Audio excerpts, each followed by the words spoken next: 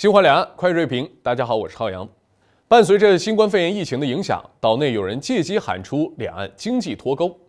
近日，台当局盯上了爱奇艺与淘宝台湾，民进党当局经济主管部门接连出台规定，封杀大陆流媒体及处罚阿里巴巴，以此在中美贸易摩擦中选边。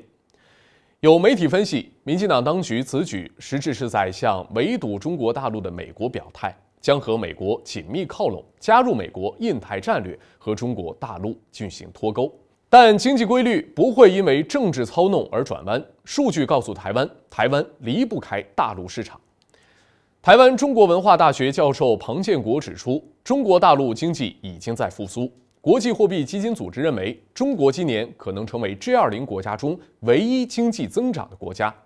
而美国将会衰退百分之八，欧洲衰退百分之十，日本衰退百分之十二以上。相比之下，中国大陆将成为拉动世界经济最强劲的火车头。在这样的情况下，台湾应该庆幸与中国大陆经济往来密切。台湾对大陆出口的增长带来的贸易顺差，让台湾能维持比较好的经济发展表现。据统计，台湾企业赴大陆投资金额一月到八月同比增长百分之四十九点五。台湾对大陆、香港的出口占总体出口成长来到百分之四十三点二，创历史新高。商机在哪儿，企业就往哪儿走。过去四年，蔡英文执政以来，台湾对大陆的贸易顺差占台湾每年 GDP 百分之十五以上，今年可能不会低于百分之二十，这是来自大陆的贡献。但民进党当局却倒行逆施，为了搞去中国化，非要抛出重组供应链的议题，企图谋求两岸经济脱钩。这无疑是疯狂而危险的自杀行径。台湾前不久出台的数据显示，台湾对东盟的出口创四年半来最大减幅，也是近十年最惨。岛内舆论指出，这充分表明新南向政策一败涂地，折戟沉沙。事实上，两岸脱钩只是民进党当局不切实际的妄想，并不能阻碍大陆台商未来的发展。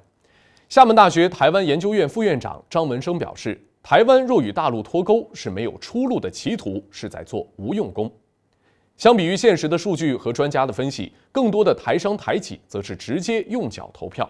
据海外网报道，二零一九年之前，大陆批准上市的台资企业为三十家。今年新冠肺炎疫情出现以来，中国证监会又批准了七家台资企业在大陆上市，还有更多企业正在进行审理。这样的数据表明，台资企业正加速拥抱大陆资本市场。大陆日新月异的发展，广阔的市场对台资企业充满吸引力。民进党当局所谓的两岸脱钩论，只能是无稽之谈。心怀两岸，快锐评，我是浩洋，再会。